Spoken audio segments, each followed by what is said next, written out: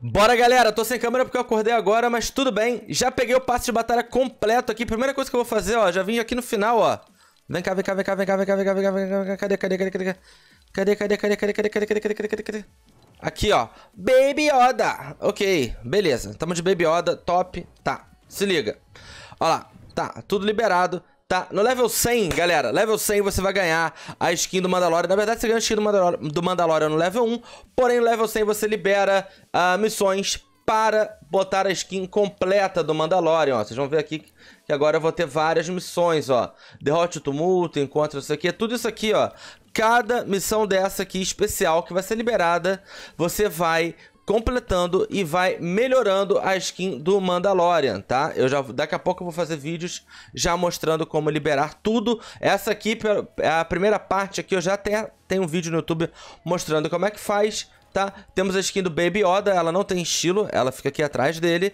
E o Mandalorian completo, ele vai ficar assim, ó. Tá vendo, ó? Ele tá aqui, ó, com é, várias partes marrom, bege, ó. E ele completo, ele vai ficar com a armadura toda de metal aqui, ó tá? Ele fica assim, ó. Fica bem mais bonito, né? E cada parte dessas da armadura dele você vai ter que liberar fazendo uma missão diferente, tá ok? Vamos dar uma olhada rápida aqui no passe de batalha. O que eu quero ver, por exemplo, você ver agora aí no seu jogo do 1 ao 100, você consegue ver, tá? Você consegue ver isso aqui que eu tô vendo mesmo sem comprar as skins, você vai conseguir ver. Porém, a última parte aqui você não consegue ver, tá? Então vamos lá, ó.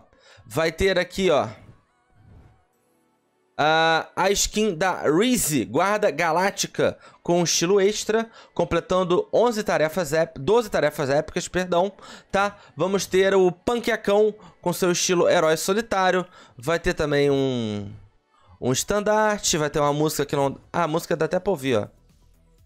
Vai ter essa musiquinha, vai ter a queda, vai ter o Condor no seu estilo verde, tá? Também teremos a musiquinha direto dos anos 60, junto com a skin da Alexa no seu estilo infiltração, tá?